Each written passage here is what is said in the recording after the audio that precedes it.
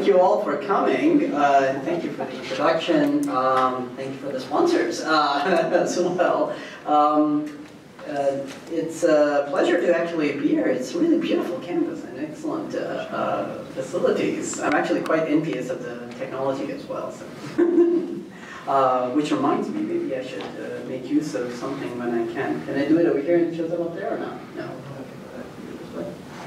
Just in case uh, if, if, if, if, I need to do that. Uh, so, uh, the title of the talk is uh, Transforming Galenic Medicine After Avicenna, Medical Commentaries and the Developments in Pulse and Humoral Theory. Uh, now, some of these uh, may be familiar to people, some of it may not be. the years 1200 to 1560 probably should be of the, of, the, Common Era, and most of the time when you'll probably come across that those years, well, unless you've taken courses with Alan uh, uh and, and, others over here, uh, but if you look at 1200 1560 and see the phrase developments, or something that is important happening, that would seem, I would say, contradictory to many of you, probably even myself, before working on this stuff, right? Because we tend to think about this period as, oh, nothing's happening there. Those are the dark ages, right? I mean, uh, uh, people are doing whatever it is, uh, uh, weighing uh, women up against uh, ducks to determine, right, that scene from uh, Holy Grail, if I were to use that, for witchcraft kind of things, right? Or um, for those who may have gone a bit further, they're like, oh, the Islamic world, yeah, some kind of golden age, but 1200, that's after it, right? Things must be going downhill. What do you mean, developments?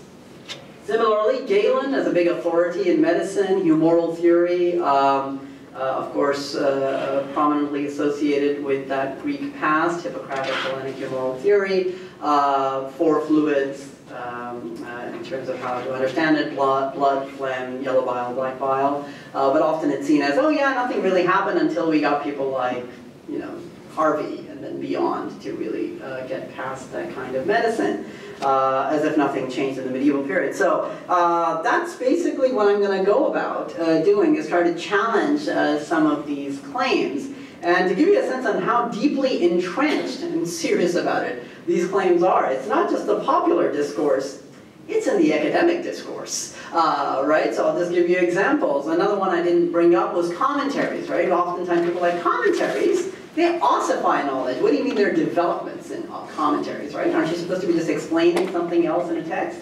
Now generating new language, uh, new knowledge, sorry. And here you see two uh, uh, uh quotes. One is from 2011 in the Oxford, uh, what was it, the Encyclopedia of History of Medicine or something of that order, right? It's a pretty kind of large project uh, written by a person who actually works on the Islamic world, but more so in the later period, 17th, 18th century, Ibrahim Najab, who says, commentary in Islamic medical literature was a style and method of writing rather than a method for providing critical work. Right. Then you get uh, someone like uh, Floris Cohen, um, who is, uh, just to put it in perspective, the History of Science Society uh, issues what is probably the top journal in the history of science. Uh, for these days, unfortunately named Isis, uh, but of course named after the, the Greek goddess Isis, uh, not, not after the current ones. Uh, and uh, uh, he's the editor of that journal, right? So just to give you a sense, and he goes, yeah, as in the Greek aftermath, commentaries were heaped upon commentaries, incidentally producing finds of great promise, yet in the grand scheme of things, leading to unredeemed ossification. Same claim. Uh, right? So this, so this is not just popular discourse, this is much more prevalent. In terms of medicine, never going beyond Galenic medical theory.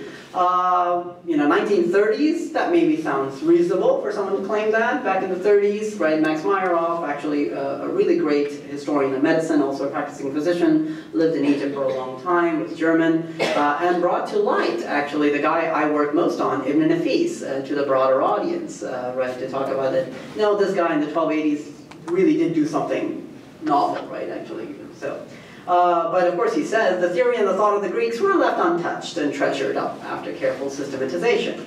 Uh, fast forward till 2003, reprinted in 2010, a leading scholar of history of science and Islamic uh, society and also philosophy, Dimitri Gutas, professor now retired from Yale.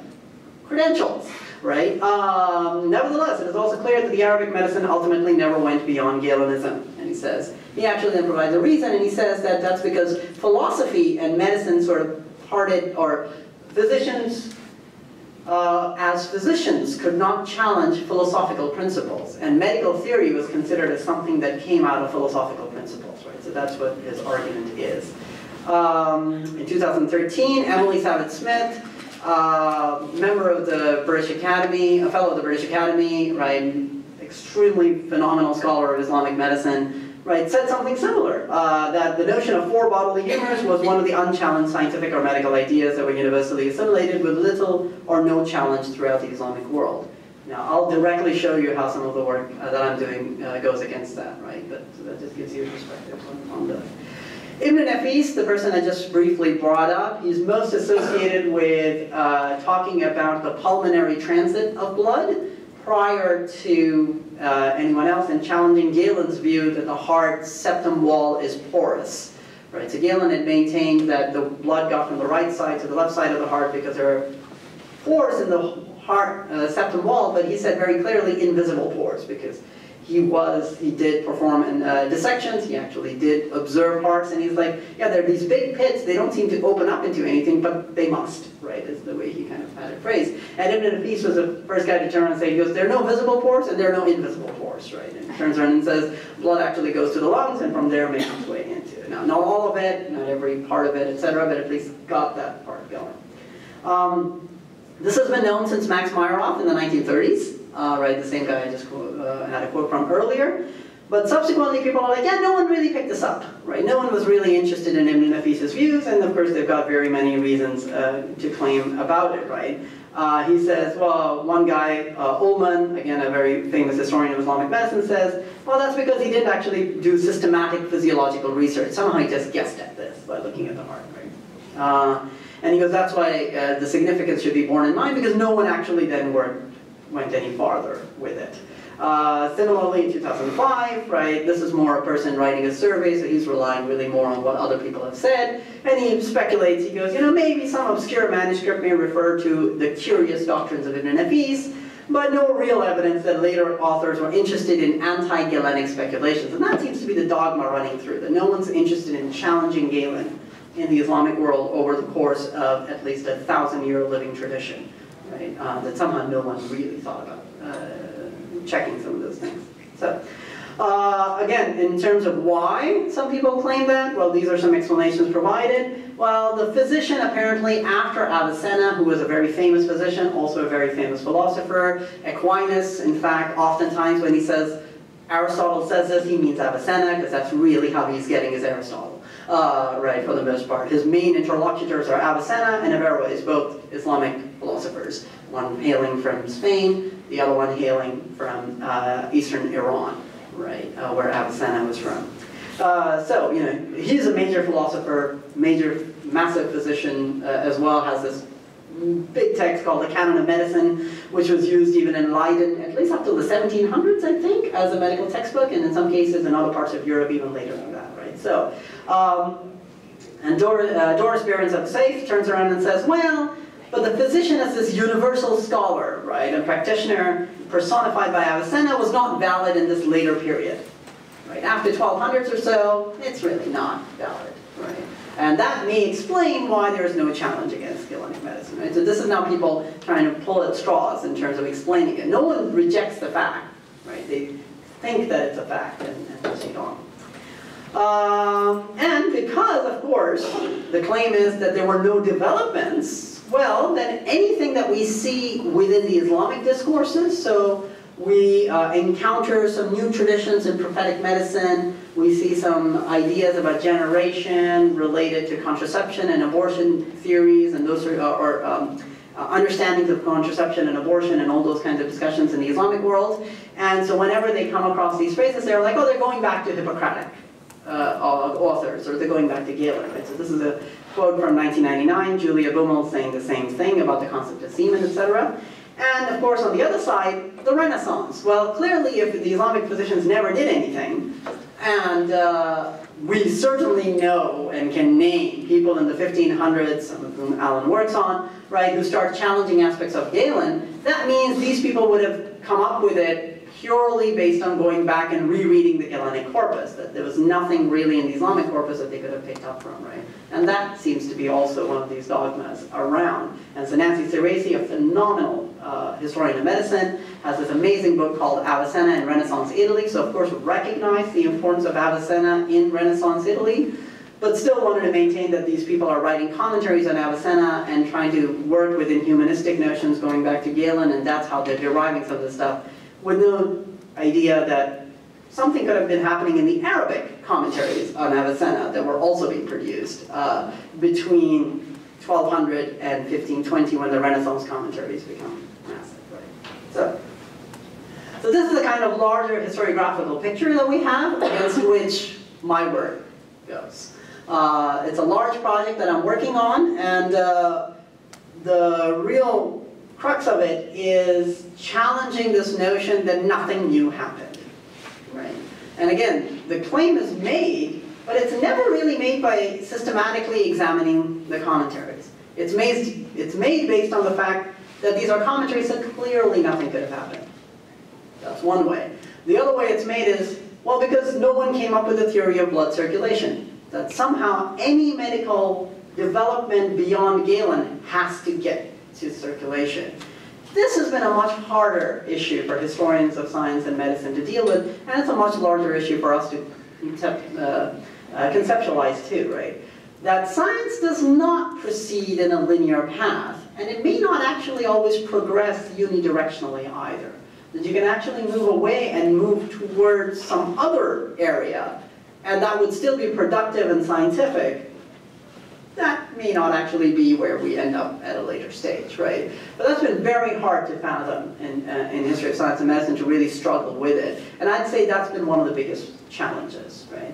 So once I removed that blinder, and I was like, okay, commentaries may have something of interest, so let's dive into them and start examining them, we'll see what happens, right?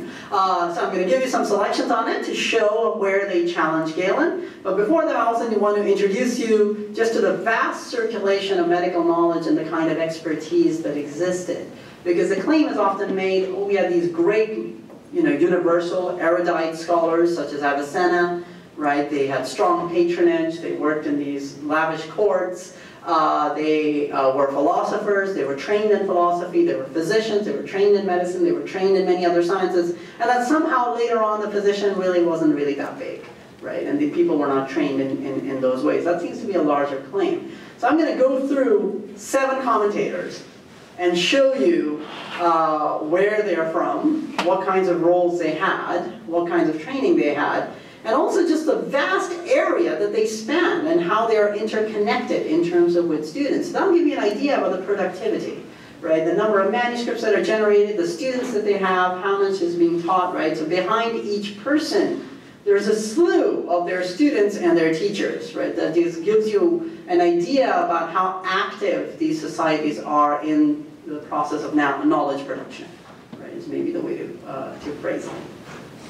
So, my first guy, Fakhruddin al-Razi, right, who died in 1210, uh, is an extremely famous now, well-regarded, and much more work has been done on him over the last three, four decades, right, philosopher, theologian, and, and many other things.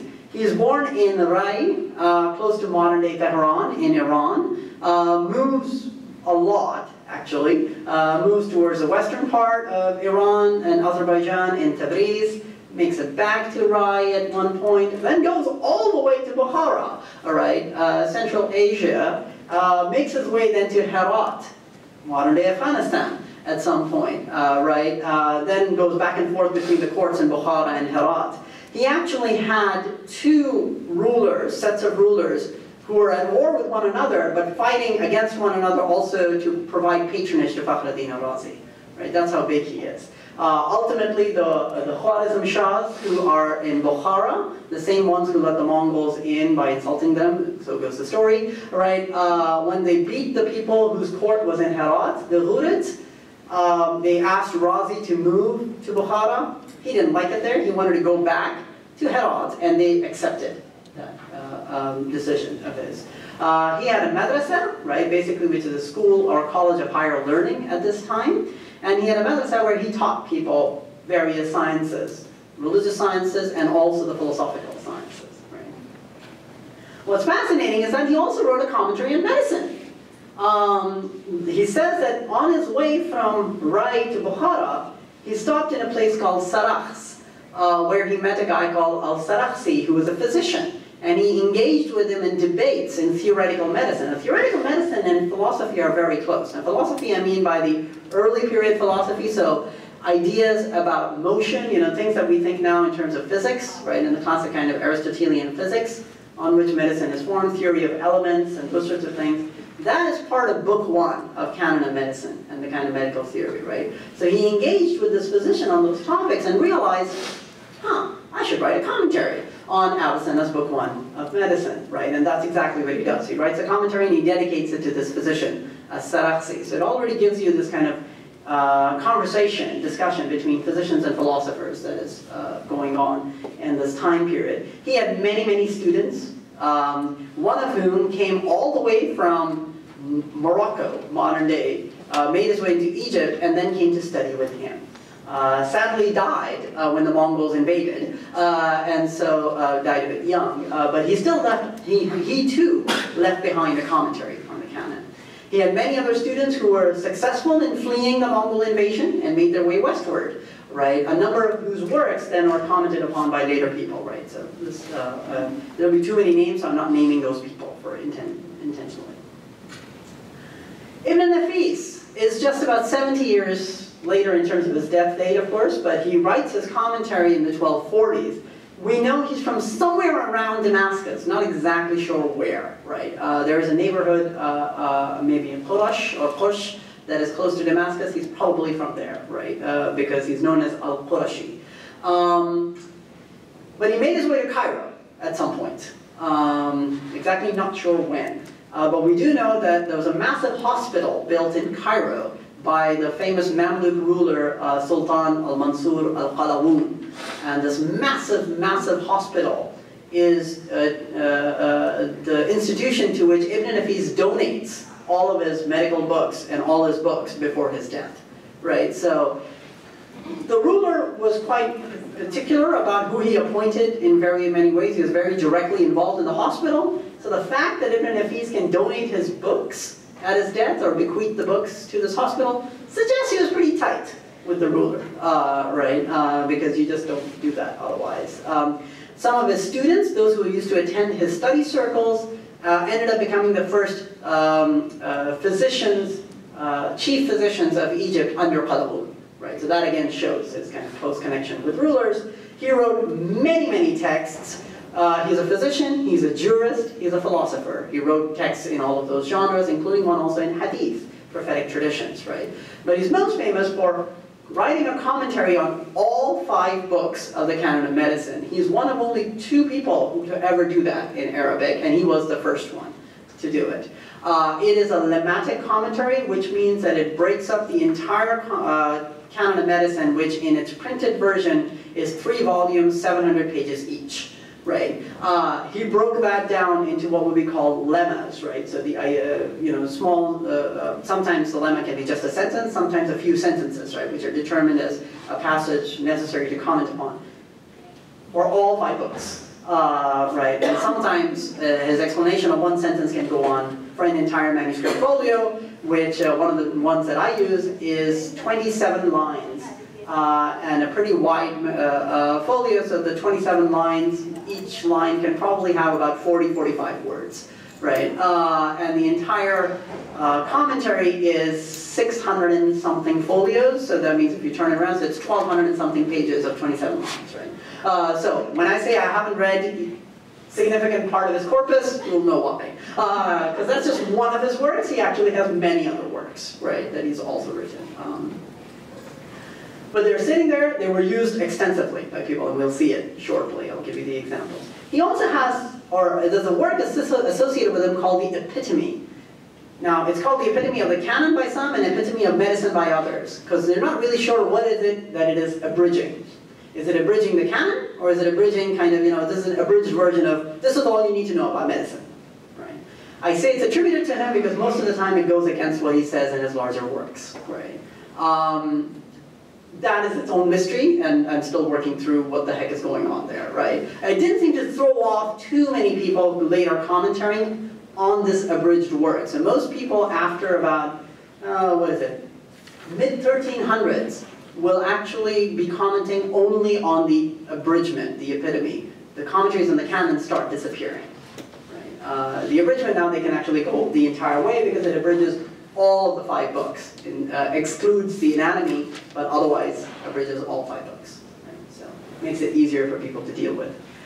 Um, this guy I'm just going to quickly glance over. Uh, he is a, he's an absolute contemporary of Ibn Nafis, right? Uh, from similar regions in Damascus. Uh, they probably had same teachers, so he's a great control for me. It really helps me identify, no, this is Ibn Nafis's novel thing, but because guess what? This guy doesn't have this stuff at the same time, right? So he's my control. Uh, he too moved from Damascus to Halab is what this map shows, because it's uh, using 13th century names, Aleppo, right? Uh, and he actually uh, worked at the court of the Ayyubid ruler in Aleppo and dedicated his commentary to him. In his commentary, and I should also mention for Ibn Nafis, both of them use Fakhruddin al-Razi's commentary. So they already have it. Uh, Ibn Nafis is writing his commentary in 1242. Fakhruddin al-Razi's commentary is from 1180, but he dies 1208 or something. And by 1242, Ibn Nafis is fully conversant with it and is using it as much as he wants. Uh, Samari not only uses uh, Fakhruddin's commentary, but he uses a commentary written by one of his students on the text too right? And also uses a commentary written by his teacher who was responding to that. So you see real kind of engagement going on. That's what I mean, right? For every person I'm throwing up, there's a massive group of people, right, involved in the enterprise. Now because of the Mongol invasion, you can see that for a period we're going to focus on the west side because there's a lot of destruction that's happened uh, out east and then it'll take a while for things to go back to east. Right, the next guy I'm looking at is Qutbuddin al-Shirazi. He's a philosopher, astronomer, physician, wrote massive amounts of text in very many ways. In astronomy, you'll also come across his name because he does many things which Copernicus ends up using, right? Um, so he, he, has his hands in many ways, uh, uh, in many pots. He moved from Shiraz, southern Iran, one of the cities spared by the Mongol invasion, uh, up to Tabriz, where the Mongols set up their capital.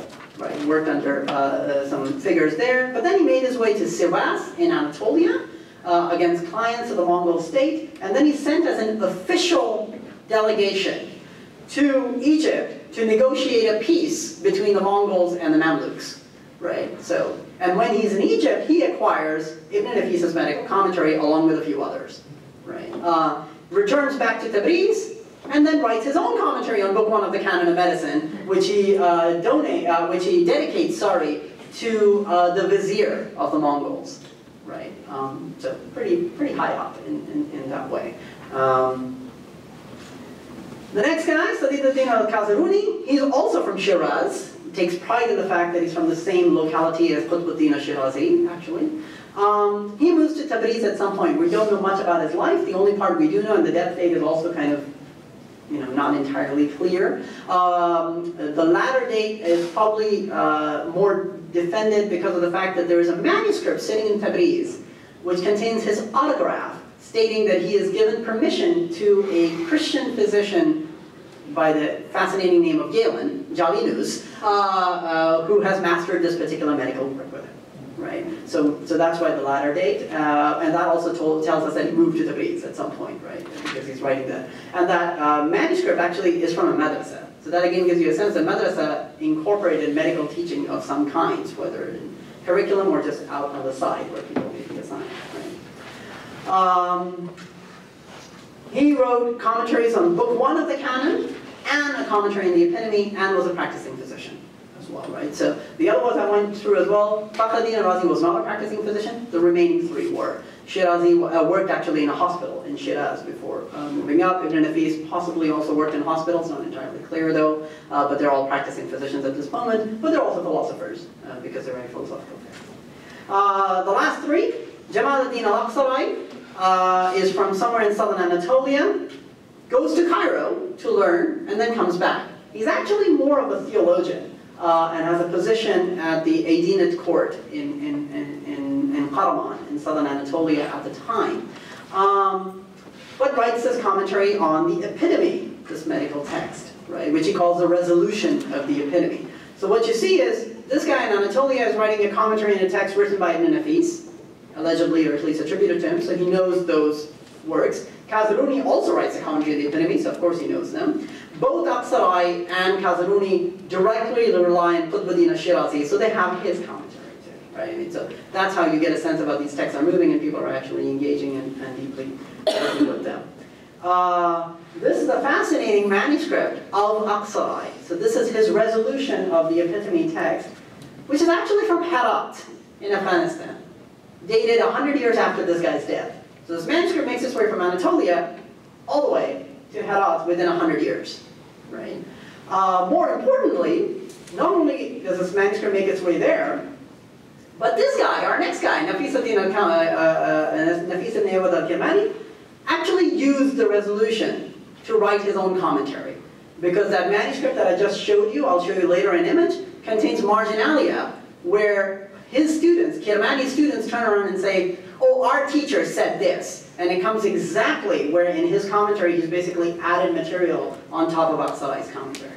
So that actually even gives you a sense about the working nature of these texts, right? That these teachers are teaching their students using commentaries and generating their own commentaries on top of it, right? And, and as they work. And we'll see how that helps in developing medicine. He's from Kirman, he's a practicing physician, makes his way to Samarkand at one point, works for the Timurid Mongol ruler Ulugh Beg, and is his personal physician and dedicates his commentaries to him. Uh, so again, pretty high up, uh, uh, and is trained in philosophy as well. As, uh, as actually, you're not going to see this one, but he is. Uh, trust me on that. Hakim Shah ibn Mubarak is the last one I'm going to look at. He's 1521, so we've already seen developments all the way for 300 years, and these texts are all known to him. He's originally from Qazwin, makes his way to Shiraz, either he or his parents, it's unclear whom, right? Works under a major philosopher in Shiraz called Dawani, right? He's a student, we know about this in, in many, many ways. Uh, another student of Dawani is a guy called Muayyad Zadeh, who is high up. He's an admiral in the army of the Ottoman rulers in Constantinople, uh, right? And uh, Muayyadzadeh basically invites Hakim Shah to come there, right? And so Hakim Shah makes his way over there and then serves the next three Ottoman rulers, Bayezid, uh, Salim, and then Suleiman the Magnificent, right? Uh, what's fascinating is that over the course of that time, he writes, of course, many works, including his commentary on the epitome, but he's also, as you see, physician, philosopher, theologian, and a Quranic exegete, right? Uh, he writes a commentary on the epitome, which we can date exactly to 1519 thanks to an autographed copy, right? So I have, I have access to this manuscript, which is basically his rough draft. Uh, right, it's not the finished copy, it's a working copy when you with cross outs and he's writing in and he realizes, oh, he's missed something, goes back and inserts it, and various kinds of things. It's really fascinating. And then it says where the red line goes through that it was finished in the hand of the author, and he gives a date. And it carries no dedication, because of course it's not the final copy. And the date dates to Salim's rule. Salim is still alive. But then the rule changes to Suleiman. And so the other copies of this manuscript that exist carry a dedication to Suleiman. So he basically then dedicated it to Suleiman and, and, and continued on with his, with his life. Or however uh, that may have been. So those are the commentaries I'm looking at. Uh, just to give you a quick whirlwind tour, some of the things that come through, rulers are involved, many of these people are practicing physicians, they're very well skilled in philosophy, so if the commentaries include any new developments, you'd expect them there, right? Both in terms of the practice coming in and as well as the philosophical uh, developments going through. And all of them know Ibn Nafis. He's cited galore across these texts, right? So the idea that Ibn Nafis was never picked up, yeah, not true. Um, right, he's all over the place, and I'll show you in terms of uh, the content, how that comes through. Um, finally, I think just looking at those red lines and, and movements of the text and the fact that you've got southern Anatolia and the text is showing up in Herat in Afghanistan and people in Kerman and all these people are, just look at the vast nature of that movement and it's over landmass, it's not even over uh, uh, ships, right, and, and sea, which is of course faster travel. Um, That'll be important later on. All right, so I'll give you three examples of developments, right? One is pulse. This is the classic Galenic one, which is there in Fakhruddin al-Razi, right? He's very clear about it. He goes, pulse is a movement or emotion in the category of place. I'll come back and discuss that shortly, so we'll bracket that part out for the time being. Of the receptacles of the spirit, issued from the vital faculties, composed of expansion and contraction in order to temper the spirit with fresh air. What the heck does that mean? It means the following. um, as far as Galen and the people following in that trajectory were concerned, the heart was really part of the kind of spirit or pneumatic organ, right? Breath makes its way in, that's kind of important for life, it's cultivated or uh, done up in the heart, and then it vivifies the rest of the body through it, right? So the heart was part of that physiological system. The arteries and the heart are then, the left side of the heart, are actually what I call receptacles of the spirit then, because, you know, they're conveying the spirit, and of course wastes are then put out. It's, you know, a two-way uh, movement, it's not single way.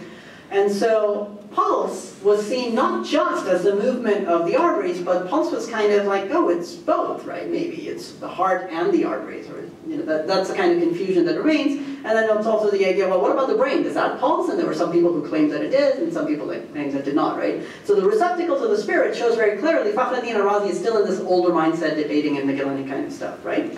Uh, composed of expansion and contraction, issued from the vital faculty. So the other crucial part about Galen, he has this massive text where he wants to go against earlier people who had claimed, such as um, Erasistratus, uh, that the pulse was because of a push, right? That the idea that the heart contracts, it forces things out into the arteries, and that's why the arteries are pulsing. And Galen, Galen, the anatomist, you know, he said, no, no, no, no, no, no, that's not true.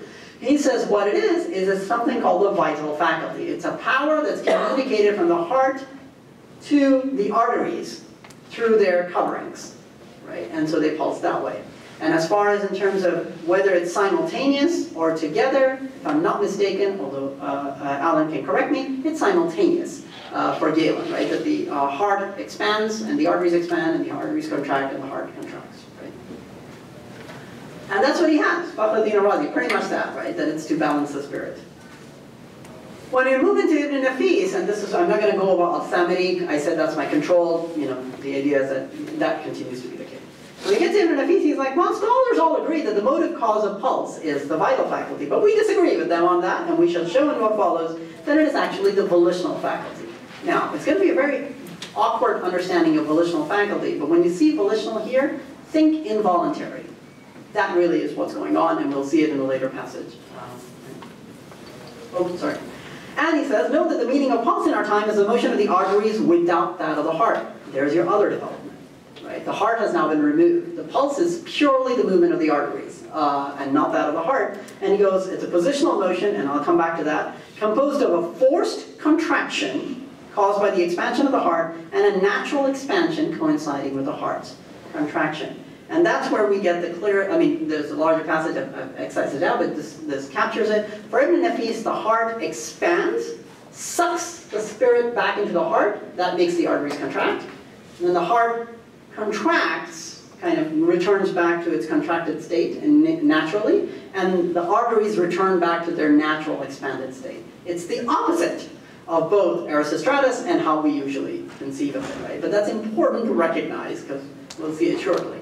Uh, uh, uh, um, so, and again, just to confirm that again, the active, the active motion of the arteries is their contraction caused by the expansion of the heart, right? The flip side of the way we think about it. Later people, Qutbuddin al-Shirazi, just to give you a sense that it shows up, there it is, right? And Qutbuddin al-Shirazi says, actually there are six ways of thinking about the pulse, right? And lists six, and he goes, the sixth one is what al-Qurashi says, which is that the heart is a volitional motion, involuntary motion, remember I told you to kind of retranslate that, and that the arterial expansion is natural and the contraction is forced. Exactly what I said, the heart expands, the arteries contract, right? And that they're out of sync, they don't happen together, right? So these are claims. And see Qutbuddin al-Shirazi, he rejects Ibn Nafis, he doesn't go with him, right? But he recognizes that, yeah, Ibn Nafis has done something new, and that's good enough uh, for our purposes. That's the manuscript that I've just mentioned to you, the Aqsarai manuscript, right? Resolution of the epitome. There's the marginalia, insertion by Al-Kirmani students saying right here, Min Maulana Nafis, from our teacher, our Lord Nafis. Nafis Kirmani, not Ibn Nafis, right? Uh, where they've inserted it, right? Saying, oh, our teacher actually added this onto it. So what Aqsarai does, Aqsarai does not name the various teachings. He just stops after a discussion of positional motion, which I'm going to get to uh, uh, right after this, right? Uh, and so Kirmani added on to that, and he said, actually, and here it is in translation, excised a bit, right? There's a disagreement over whether the movement of the arteries follows the motion of the heart or not. Galen and those who follow him believe that the movement does not follow the motion of the heart, but rather is due to a faculty, the vital faculty, the arteries. Then they disagree on this faculty, and some say that it is a vital, vital faculty, so now he's going to talk about, you know, even within that there are some changes that have taken place. He goes, many of the ancients say that its contraction is with the expansion of the heart, and its expansion, the artery's expansion with the contraction of the heart, and this has been chosen by the author, Ibn Nafis. Right? And that's the one subsequently Kirmani's going to go with. Right? He even comes out and he says, yeah, pulse in our time means the motion of the arteries, not the heart. Right? So there are further corrections. And just to show that that continues on, Hakim Shah al-Qazwini, sitting in Constantinople, writing in 1519, says the same thing. Some claim that the expansion of the arteries along with the expansion of the heart and the contraction with the contraction, if we go all the way down, right, he goes, uh, uh, others claim that the contraction of the artery is with the expansion of the heart. This is the teaching of many ancients. From amongst them, there are those that claim that the movement of the heart is volitional, to which the author inclines. Involuntary, remember, to which Ibn Nafis inclines. This is because the heart possesses sense and the movement of the pulse follows the heart, and so on, right? Uh, and of course, then Al-Qazwini goes on to defend how he can make that claim, right? That it's a volitional motion. And he says, well, it's just like the eyelids, right? Uh, which is their category is still volitional. And that's why I'm saying translate to involuntary for us. Okay. Um, this one I'm going to go quicker over, but just to give you a sense of the philosophy behind this, right? I'm not going to read the passages, I'll just leave them up there. Um, for modern cosmology, even, right, if you try to think about, uh, if you have ever tried to think about it, we always hear about space expanding. Expanding into what? The balloon example doesn't work because the balloon is expanding into something else we call space, right? The concept of space itself expanding is a bit mind-blowing uh, to try to think about it, we can't really come up with good analogies. Now, in the Aristotelian universe, the Earth-centered uh, external final sphere, the celestial sphere where all the stars are dotted, right, and those are moving, in the Aristotelian universe, that was the limit of place as well. There was nothing outside that sphere, right? But of course, that sphere for Aristotle was rotating. Rotating with respect to what? There's nothing outside it, right? Now Aristotle really struggled with this, and he said, well, it's still doing it in, so he said it's rotating, and rotational motion, he says, was a kind of locomotion, right, category of motion in place. And there's a lot of debate about it, and people challenge him, etc. And Avicenna, the great thinker that he was, came out and says, no, Aristotle's wrong about this. There's actually a fourth category of change, right? There's quality change, there's a change in quantity, there's a change with respect to place, locomotion, and he goes, there's rotational motion, what he calls category of position, right? Change only with respect to positions, not with respect to the place they occupy. Ibn Nafis applies that category and he says, the arterial pulsing is exactly that. Which is like, what are you talking about? That makes no sense. But he goes, hear me out right? The arteries are contiguous. They're touching whatever else is next to them. So he goes, they're never displaced. They continue to touch them when they expand or they contract. So because they're never displaced, they're still in place. So they haven't moved with regards to place. So their motion must be similar to a circle rotating. Right? That's, that's his argument in a nutshell. And that drives a lot of people up the wall. Uh, Shirazi is like, but wait, I feel it. Clearly, I couldn't feel it, now I feel it. Something's happened, right? And so he goes, well, yeah, so he says this, and Shirazi starts working with this. Now, the other problem that they're having is that their concept, their term for place is makan. Makan means, you know, it can also come to mean, for example, a house. It basically means the space that you occupy, right? Uh, and that's what he's saying. He goes, well, you're contiguous, you're touching something, you're occupying this, you never got displaced. And so that's where Shirazi starts to play with the idea, okay, can we think about another way to conceptualize space or place, right? And we talk about whereabouts. Where is something, right, kind of, with, as opposed to what is it next, what is it touching? And the reason he says that, and he goes through with it, he goes, well, when I pick up a cup of water and move it, are you telling me that the water has not moved with respect to place? Clearly it has. It's no longer in the same place. But under Ibn Nafis, that would be, yeah, it hasn't moved because it's still touching the cup, right, in, in, in that way. So that's what they're kind of boggled by. And Aqsarai says it very nicely. He goes in a category of place, the moved object must change its whereabouts, not that it must be displaced from what it's touching. And that's what he says, water in a cup, right, transferred from one house to another. Clearly it's moved in place, uh, in, in the category of place, right? Uh, and then he says another one. He goes, well, expansion and contraction really is kind of a movement away from the center is expansion, a movement towards the center is contraction. So if we're all in a circle, we take a step back, the circle expands, we take a step forward, the circle contracts. He goes, clearly the expanded circle and the closed circle cannot occupy the same place. He's like, this is stupid. Why are we even arguing about this, right? So he goes, Ibn Nafis says wrong, it's movement in the category of place. Arterial motion is like that. And then you get this guy Ibn Mubarak. He goes, wait a minute, right? Uh, you're raising this objection with regards to that. But notice, the motion of the water with respect, the, if I pick this bottle of water up and move it here, goes, the water has not moved by, the water is not the one that's moved, it's the bottle that's moved. Right? So he makes a distinction with what he calls per accident and per se motion. So he goes, if you're going to talk about per se motion, the water actually has not moved with regards to place. But per accident, it has. It's just like you know me on the ship, and the ship is moving. Right? And then he brings into another category, he goes, we need to talk about metaphorical space and real space. Real space is what it is touching. Metaphorical is kind of this God's eye view, right? So you start to see they're really starting to deal with some really important concepts in physics and, and philosophy that have a major uh, repercussions later on as well. So this is just my taste to give you a sense that the medical texts are very philosophically astute right? final example is humoral theory, right? Uh, and my reason for doing that too is just to give you a sense that whether the arteries are a kind of rotational motion or a kind of locomotion has no bearing medically. That is not even an argument about how pulse matters in terms of determining diagnoses or any of the, or prognoses or whatever it is, right? So, but they're willing to engage in that discussion because it's all about intellectual refinement, it's about being astute, and there are probably larger issues going on which are making their way into the medical text, right?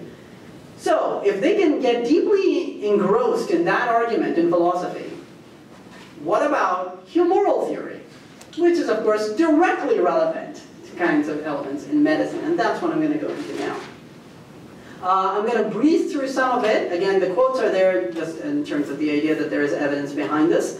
Um, the Galenic understanding of how humors are produced are the following. You eat food, it gets kind of mildly digested in the mouth, makes its way into the stomach where it's digested more, uh, makes its way into the intestines and then the livers, and in the liver is where the humors are produced. Right?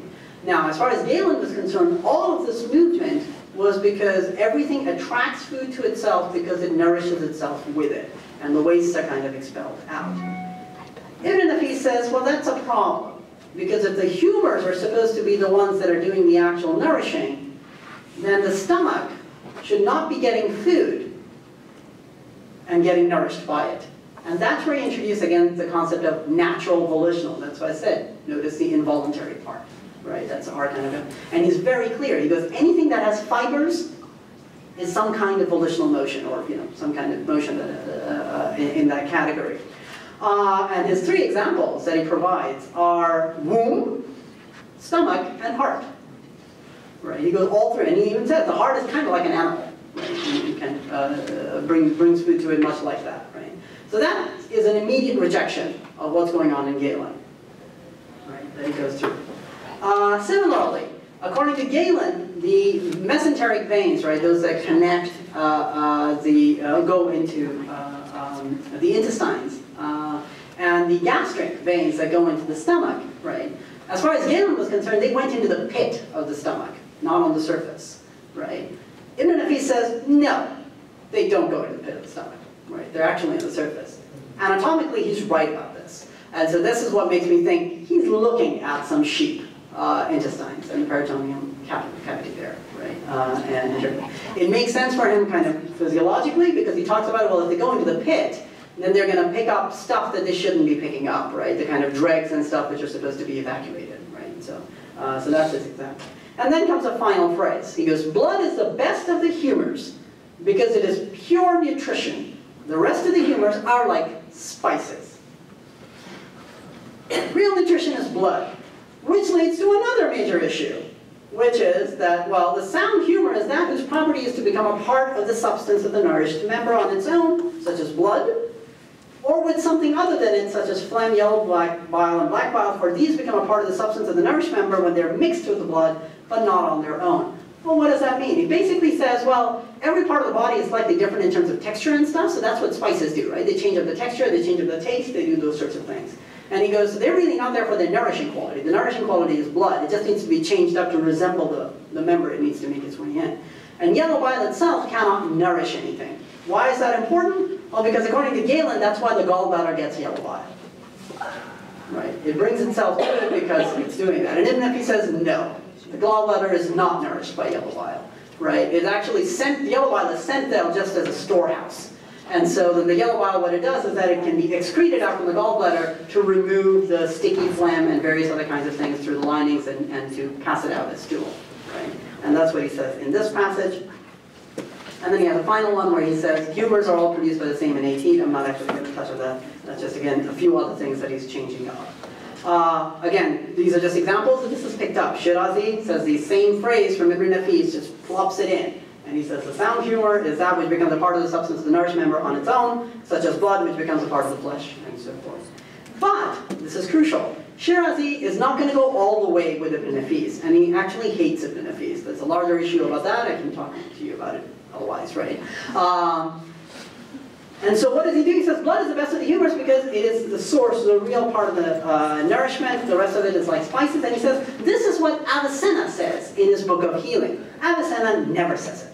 Right? So Qutbuddin Shirazi is doing this for completely different reasons, right? So I've talked about how great some of the stuff can be. This also gives you a sense that some nefarious things that are going on that can be picked up. Again, this is just another example of someone else who's working through with what Ibn Nafis is doing, but they don't actually go far enough because they think that Avicenna says something similar and they're not working through all the consequences. Aqsarai is a great example of that too. The final guy is Ibn Mubarak, who does work through the consequences. And I'll just kind of leave it at that where he, so it's there in Constantinople at this time.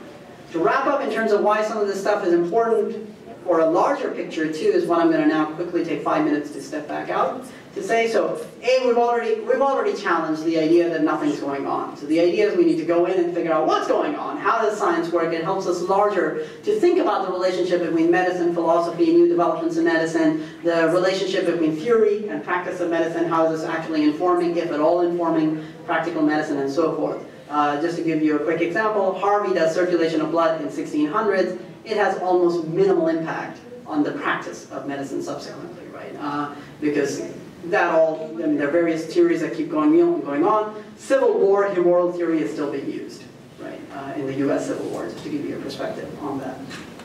So that's important in its own right, but this is how it changes the Renaissance picture, right? I'm going to give you two quick examples of people. Andre Alpago, who died 1521, made his way to Damascus from the Veneto, and then made his way back out to Venice after staying 19, 20 year, uh, years there, learned Arabic, translated the Avicenna Canon of Medicine again, right? Revised translation and various many things. Another guy, Moses Galiano, he's in the same court as Ibn Mubarak in Bayezid's court, right? And he's an, uh, and he works, he goes between Venice and Constantinople, and then is in Candia, where he sells a lot of Arabic and Hebrew manuscripts to Renaissance collectors, who are directly connected with some physicians in the Renaissance period, right?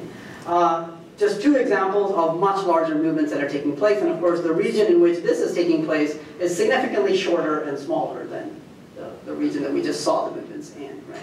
How does this impact? Well, these are some Renaissance discussions and examples. This is Andrea Alpago's text, which is published posthumously. He died in 1521. This is published later, which contains, this is the fascinating part, Ibn Nafis's text on the fifth volume of the canon, his commentary. But that's actually not the one I'm most interested in. I'm most interested in the one that is actually above it, which says Shirazi, philosopher and physician, and his commentary on the second part, third part, and fourth part of the first book of the canon. And the reason I'm interested in that is because Shirazi, we just encountered, talked about the six teachings of pulse. They're right here in this translated version, right? And because in the Renaissance medical discussions, there is no equivalent of discussing positionality of motion and the definitions of motion, the translation has excised the first five considerations in which Shirazi makes those discussions and just goes straight to the sixth one, which is all about the teachings of Pulse, right? What happens? It's right here, very clearly, Shirazi in the Latin translation is saying the same thing, that everyone has claimed that the motive you know, uh, force for uh, pulse is the vital faculty except Al-Qurashi, right, who says that it is actually the volitional faculty, and then Alpago has a marginalia that says Al-Qurashi is a commentator on Avicenna, and he's actually known by Ibn Nafis, right? So he's going ahead and clarifying that directly. Why, why that's important is because, as Alan and many others can, can point out, uh, pulse discussions are massive in Renaissance Italy right? And this is an example of Gabriel Falloppio, who died in 1562. He's actually a Galenist. He's attacking others. But notice what he says. When the arteries are moved, they're moved accidentally, and the heart is contracted, the arteries are dilated, but when the heart is dilated, the arteries collapse as the blood is recalled to the heart. That is the essence of Ibn Nafis's theory. That is not Erasistratus, right? Uh, or the ancient Greeks where is this coming from? Right, is, is, is, the real thing. And so that's the part to kind of work through. Colombo, of course, is a, is a great example of someone who did perform vivisections and everything, but it's also very well known that he made this galling error. Uh, that he referred to the expansion of the heart as the systole. Right? Elementary Latin mistake, sure, but I would actually argue that's because he took systole not to mean necessarily contraction, but active. And so the active nature of the heart is its expansion, which results in the contraction of the arteries. That's exactly Nafis's theory. And that's what he's in dialogue with, right? Uh, and, and where that comes from. Um, Fernel is the uh, interesting example where a lot of stuff shows up from Ibn Nafis in generation theory and many other kinds of things. But here are the examples from humoral theory. Yellow bile and black bile are less suitable for nourishing the body and consequently it is inappropriate to mix them with blood, the pure nutriment of the body. The exact phrase that shows up. Nature separates them, gathers and stores yellow bile in the bladder and, and, the other one in the spleen. He goes, you know, corrosive and bitter though this humor is, it is neither unpleasant nor harmful. Gallbladder acquires enjoyment and a pleasant feeling, but it is not nourished by it fundamental principle of Ibn Nafis's reworking of humoral theory. Uh, similarly, he goes, for my part, I hold that both coats of the stomach alike are nourished by blood. No, do not refer to the feeding from chyle in which the stomach engages as true nutrition. Again, the exact part of Ibn Nafis in terms of how this is working. And of course, Fernel also goes in and says the gastric veins do not enter into the pit of the stomach, they just come onto the surface. Right? He says the same thing with the mesenteric vein. So a lot of work for us to do in terms of really thinking through the engagements and developments in this period and also kind of this dialogue between the Latin world and the Islamic world, which is clearly taking place, but the details of it are not quite there yet. There many more examples, but I'll stop here. Thanks.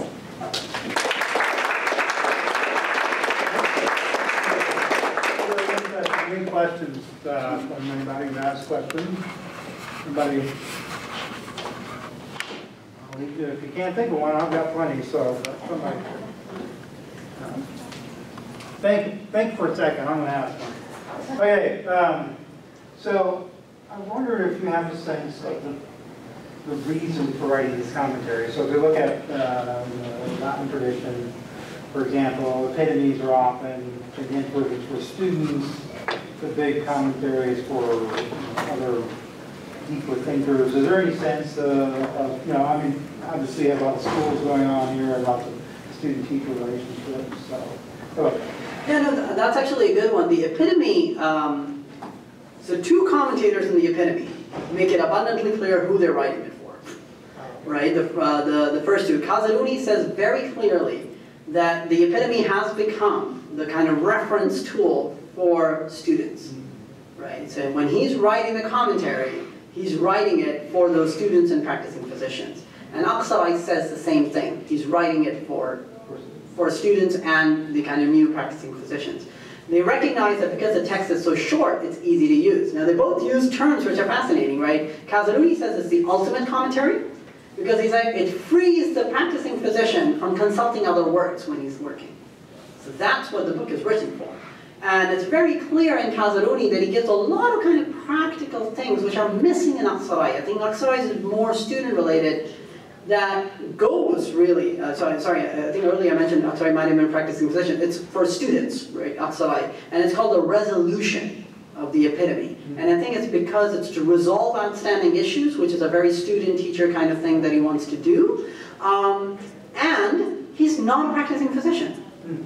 Right? I mean, he writes it on all the entire uh, abridgment, which of course includes galore practical sections. I'm not really sure what the heck he's going to have to say on, on, on many of those issues, right? Because I think in many cases he's just cutting and pasting stuff that he can find in Ibn Nafis, because he's not going to be able to bring anything of his own. Now, this is not to say that Kazaruni is necessarily bringing stuff of his own either, right? But, uh, uh, but at the very least, he's going to pitch it in a way that it's accessible to a practicing physician just as much to the others. Um, now, in terms of why the heck Ibn Nafis is writing, he has all kinds of interesting phrases. I think he is writing for a much larger audience. Uh, and it's also based on trying to get, I mean, commentaries are written for those purposes, but they're also written to show mastery over material by kind of a very master scholar, right? So Ibn Nafis can do this, right? No one else can, right? To, to write. It is. Uh, and it's written very early, uh, right? Which in some ways goes against that because he's writing it very early in his career, uh, right? 12, 1242 is our first manuscript of the commentary on the anatomy, which is, exists in the UCLA um, library, right? Um, it's 1242 when he's like 32 years of age. And he's written the commentary in the anatomical sections entirely already. Which means, based on that, that he's written the commentary on book one already, right? Uh, subsequent works, which we can reliably date from 1270s, contain references to the commentary in the canon.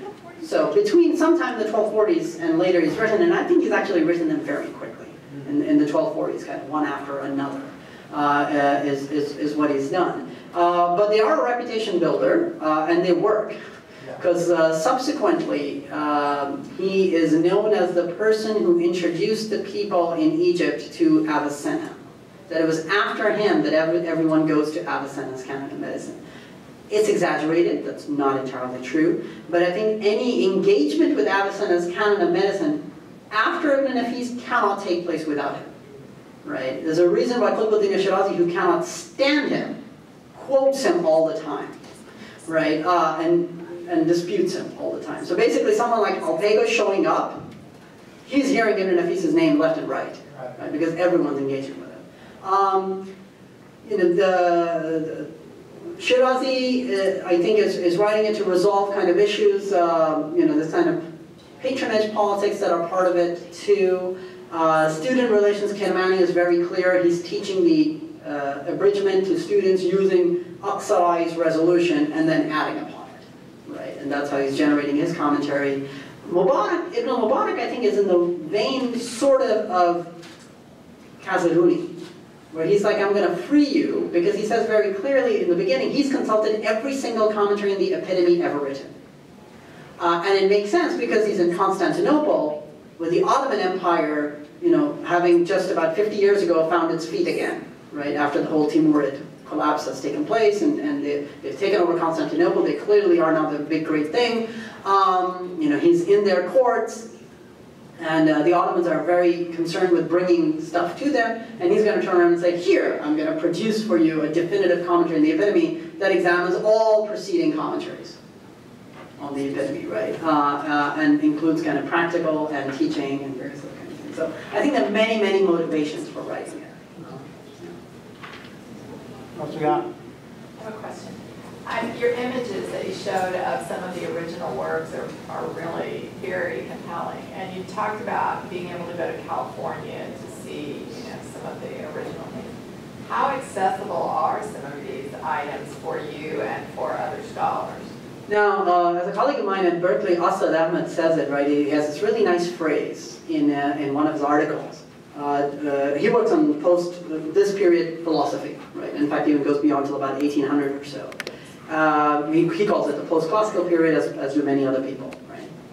And uh, the standard claim in philosophy has been the same. Oh, after Averroes, there's no philosophy in the Islamic world. Right? Absolutely bogus. If you want a very quick uh, version of it, History of Philosophy Without Any Gaps, the podcast by Peter Adamson is phenomenal, right? And totally go to it, and he does a brilliant job of, of providing you with all the kind of stuff that happened after. Um, and he has this great phrase where he says, you know, it's not because of accessibility. Because he says they've been sitting, you know, in the dozens in libraries across the world, easily accessible, just collecting dust. For someone to just come and open them up. Right? But no one's bothering to open them up because the larger question that they have is, of course they could not have been anything, because if there was anything, Harvey would have been an Arab or a Persian or a Turkic, whatever you want to say that, right? His name would have been Muslim sounding, uh, right?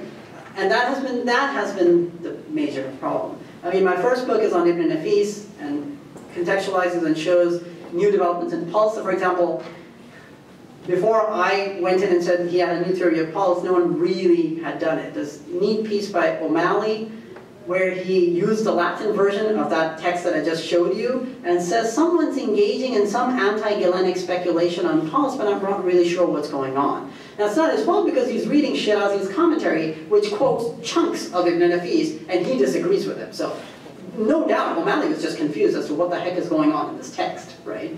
Um, but Ibn Nafis's original was available to anyone to go in and open up, right? It's the most widely available commentary on the canon. Um, right? And he's not as verbose as Shirazi, which would make it harder to pinpoint? I mean, for my first book, all I literally, and in fact even now, all I have to do is open up the page and it says, it says right here, right? So when Meyerhof turned around and said there was no physiological investigation behind his anatomical theory, it was not because he went and opened up book one, where all the physiology is, to show what's going on, right? And again, this has something to do with their understanding of physiology as an experimental science, which in itself comes into existence at the end of the 1800s, or middle, somewhere around there. And Alan would be better off, or other people may know exact but time. I mean, Bernard and, and, and others at the turn of the century and, and stuff are, are, are, are the figures to think through there, and of course uh, with precedence in the 19th century. Uh, but before that, physiology is really like philosophy. It's kind of a discourse, right, an examination. It means it's, it's still invested in empirical observations. Right? For a pulse, for example, I didn't say something uh, which is really, really neat as far as I'm concerned. Ibn Nafis, you know, the idea that the, he says, well, so the heart expands and it sucks back this thing. So he thinks through this and he does a classic scholastic method. And the scholastic method, it would be like, he goes, and you may object that if that were the case, then the arteries would contract differently based on their distance from the heart. He's thinking it through. And Ibn Nafis goes, you are right. They do. But we cannot notice that because it takes place so quickly. And of course, in that way you can turn around and say, that sounds reasonable, right? What, you've got 80 beats per, per minute, right? In the absence of earlier kind of, how the heck are you going to gauge? What part of the artery is contracting and expanding, you know, based on the distance. It's, it's going to be harder to do on a living person to begin with, right? Uh, and he says it, he goes, I haven't, and he says, the definitive proof for my theory will come if you cut open a live animal. And he says, I have not done that. And, and he actually says it. He goes, I am not going to do that, right? It kind of goes against my morals and ethics to do it. And of course, it's exactly the experiment that Colombo then does to, to, to prove uh, the theory. But he knows it. He goes, that's all you need to do.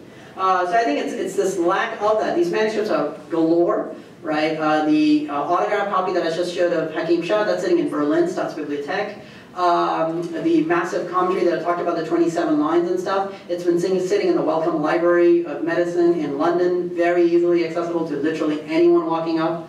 Uh, can, can request it and have a look at it. The British Library has copies of Ibn Nafis's commentary. Um, the abridgment commentaries, the epitome commentaries, were actually edited and lithographed in the 19th century. So you can get it on Interlibrary loan from a few places too, right? So it's, they're all there to, to examine. It just requires the will. And of course the Arabic to, to be able to read it. But many of the people have had that Arabic and, but not had the will to, to go in. What else we have? Anybody? Oh, well, thank you again. That was really interesting.